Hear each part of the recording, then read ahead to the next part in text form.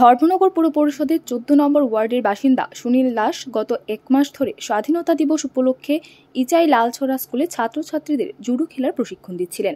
পনেরোই আগস্ট স্বাধীনতা দিবস উপলক্ষে স্কুলে নানা অনুষ্ঠানের আয়োজন করা হয়।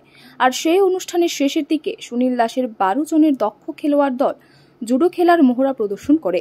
অনুষ্ঠানের শেষ ভাগে ফায়ারিং এর ভিতর দিয়ে ঝাঁপ দেওয়ার প্রস্তুতি শুরুর সময় ঘটে বিপত্তি।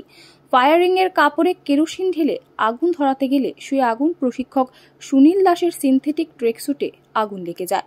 কোনো কিছু বুঝে ওঠার আগে তার শরীরে দাউ দাউ করে আগুন জ্বলে ওঠে। প্রশিক্ষক সুনীল দাসের সাথে থাকা ছাত্ররা কোনো মতে শরীর থেকে টেনে হিচড়ে ট্রেকস্যুট সহ বাকি কাপড় খুলে ফেললেও তার শরীরের নিচের অংশের প্রায় চল্লিশ শতাংশ পুড়ে যায়। আমরা একটা জুডো ডেমনস্ট্রেশন করতে গেছিলাম এখানে ইসাইল আলচরা স্কুলে এখানে একটা দুর্ঘটনা ঘটছে। এখানে আগুন ব্যাক করে আয় আমার গাতে পড়ছে। তখন এই দুর্ঘটনা হয়েছিল। এটা কখন হয়েছিল ঘটনাটা? সাড়ে আটটা। সকাল। স্বাধীনতার প্রোগ্রাম চলার সময়। হ্যাঁ। জানা গেছে বাজার থেকে ক্রয় করে আনা কেরোসিনের সাথে পেট্রোল মিশানো ছিল যার ফলে আগুন মাত্রাতিরিক্তভাবে ছড়িয়ে পড়ায় দুর্ঘটনাটি ঘটে। বর্তমানে ধর্মনগরের বাড়িতেই তার চিকিৎসা চলছে বলে জানা গিয়েছে। ব্যুরো রিপোর্ট রাইজেশ নিউজ।